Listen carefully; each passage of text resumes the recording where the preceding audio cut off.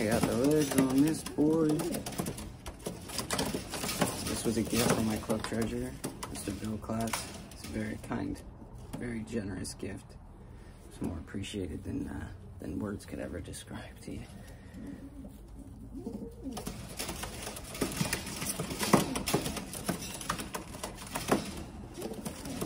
Not, excuse me, I'm not the best show and tell. Showing off these racers the way that some guys can get them to be shown is just phenomenal, but this bird is absolutely at the absolute top of the list. He's got his own special bachelor pad for him and his girl.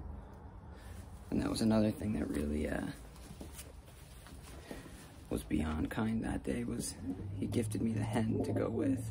And the hen is not only just the hen that he had her paired to for the past season or two. Should tell you something about a, a,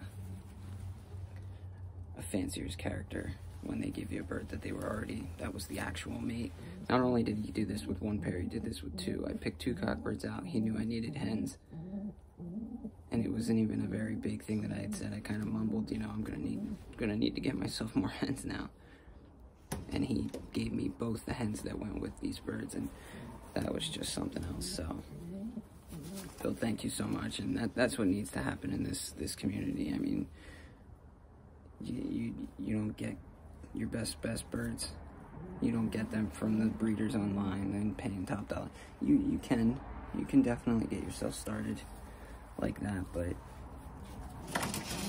the guys that sell you the five dollar birds, ten dollar birds, you know, these kits and stuff like that. That's that's where you're gonna get your little diamond in the rough because they're coming from their breeding stock. These are guys that'll breed a little bit of extra and they'll make a little bit of feed money, you know, and and